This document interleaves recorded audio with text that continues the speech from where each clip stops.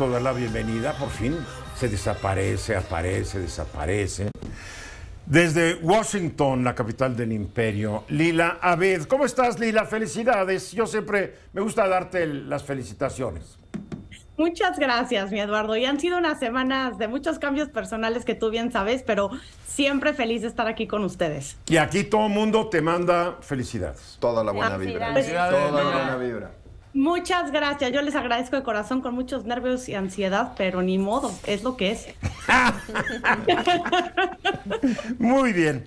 A ver, platícanos qué le pasó a, tu cuate Donald J. Trump hoy, porque aquí en México decía es que lo arrestaron, lo arrestaron y todo el mundo emocionado, porque la gente ignora cuál es el procedimiento judicial cuando te acusa una fiscalía y te tienes que comparecer ante un juez. Llegas y te fichan, llegas y quedas formalmente arrestado. A ver, explícanos qué pasó, porque la verdad es que estuvo 50 minutos en el tribunal y cuando salió le decía hola, hola, adiós a todos y se va hoy volando de Miami a su club de golf en Bedford, Nueva Jersey, para un evento. Así es, Eduardo. Bueno, el expresidente Donald Trump se presentó este martes ante un tribunal federal de Miami y se declaró no culpable de 37 cargos federales presentados en su contra. 31 de ellos están relacionados con violaciones contra la ley de espionaje y la retención deliberada de información de defensa nacional en su casa de Florida, esto después de dejar la Casa Blanca en 2021. A ver, es muy importante, eh, a pesar de que no lo arrestaron como tal, sí compareció, le tomaron las huellas digitales, no hubo una foto como tal, porque eh, las autoridades creen que si hubieran tomado una foto de él arrestado, eh, pues sus, sus, simpatizantes la hubieran utilizado, ¿no? Como una forma de decir que Trump es víctima del sistema judicial de Estados Unidos. Además, ya está muy fotografiado la gente. Totalmente. Y también tenemos fotos del, del, juicio en Manhattan, Eduardo. Entonces, eh, eh, pero lo importante de todo esto son, a ver, son dos cosas. Primero es la segunda vez desde abril que Trump se enfrenta a un juez por un caso penal. La segunda es que se trata de un hecho histórico porque es la primera vez que un expresidente eh, es acusado por cargos federales. Y este juicio, o lo que se puede convertir en un juicio, va a ser mucho más complicado y las consecuencias pueden ser mucho más profundas para el ahora candidato del Partido Republicano que busca regresar a la Casa Blanca en las elecciones de 2024. Eh, esta este juicio se remonta aparte, eh, no solamente a estos eh, cargos que enfrenta Nueva York por el supuesto pago de dinero a la actriz porno eh, Stormy Daniels durante su campaña en 2016, pero también tiene investigaciones en curso en Washington y en, Atlanta sobre los esfuerzos por cambiar los resultados electorales en, en 2020. Y todo esto es importante porque los cargos, si es declarado culpable por uno o varios, podría enfrentar de 8 años en cárcel hasta toda su vida eh, eh, en prisión. Ahora, es muy importante aclarar que si bien está acusado bajo la ley de espionaje, no se le está acusando de ser espía, porque dentro de la ley de espionaje hay muchos rubros y lo están acusando bajo precisamente los rubros de que no lo convierte en espía, porque la ley de espionaje dice que es contra la ley que retengas documentos, que los tengas en lugares inseguros, etcétera, etcétera. Porque ya todo el mundo decía, es que lo están acusando de espía. Él es el primero que lo está diciendo. Creen que soy espía, cuando no es el caso. Porque si él y los republicanos están haciendo estos días, es un caudal de mentiras y exageraciones para defenderlo inexplicablemente. Porque cuando tú ves que sus rivales republicanos, con excepción de Chris Christie, lo están defendiendo, Qué tristes rivales, se están empinando solos. Totalmente, Eduardo. A ver, por un lado, las últimas encuestas, a pesar de todos estos juicios que enfrenta el expresidente Trump, el 60% del Partido Republicano sigue favoreciendo a Trump como el candidato para presidente en 2024, muy por delante, por ejemplo, de Ron DeSantis, que tiene alrededor de 26.7% de aprobación internamente en el Partido Republicano. Y lo que tú mencionas, eh, que es la ley de espionaje de 1917, como bien mencionaste, prohíbe conservar secretos de Estado en lugares que no están autorizados y que son inseguros.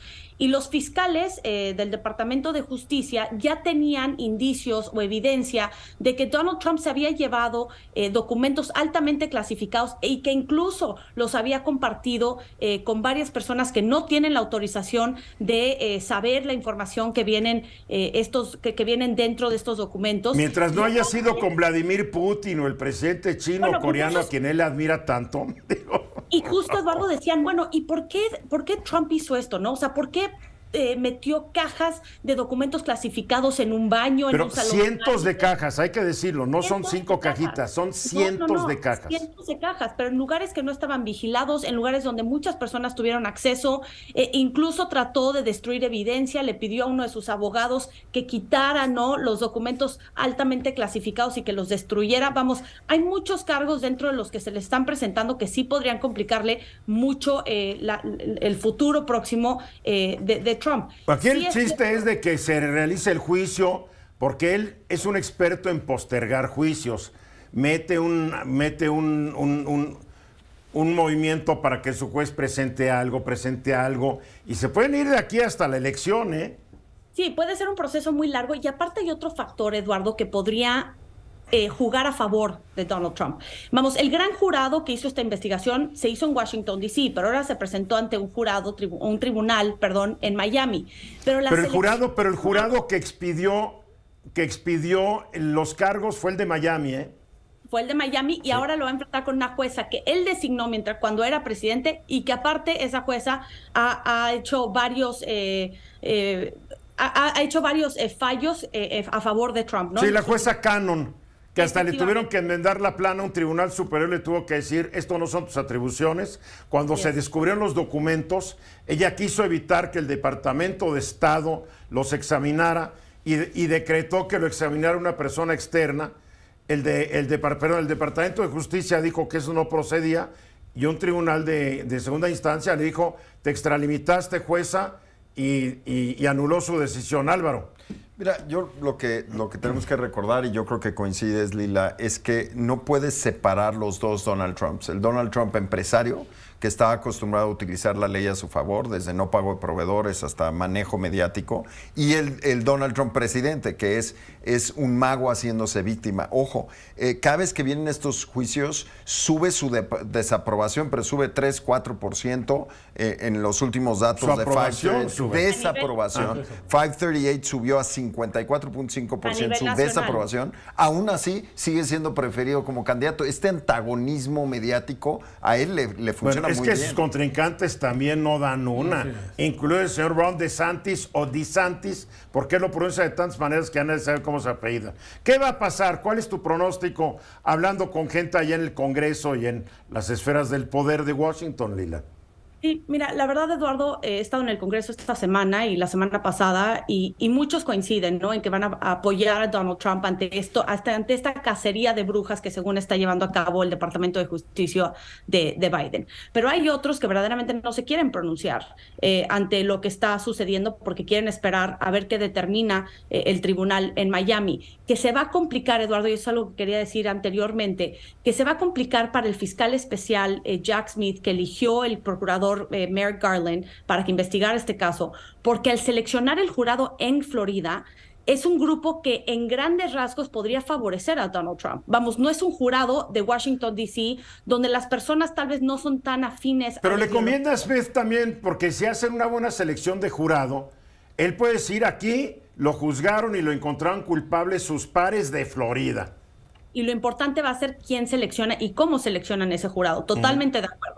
Eh, yo creo que va a ser un, proceso muy largo. Eduardo, los fiscales del Departamento de Justicia están intentando eh, desahogar este juicio antes de las elecciones presidenciales de 2024. Ojalá puedan, eh, pero toda la evidencia es muy fuerte que ha presentado por parte del Departamento de Justicia y parece que este juicio en particular sí podría llevar a Donald Trump, si es declarado culpable, a, tener varios años, si no es que toda la vida. Y aún así, y aún así podría ir a la elección, ganar, y si fuera presidente, gobernaría desde la cárcel.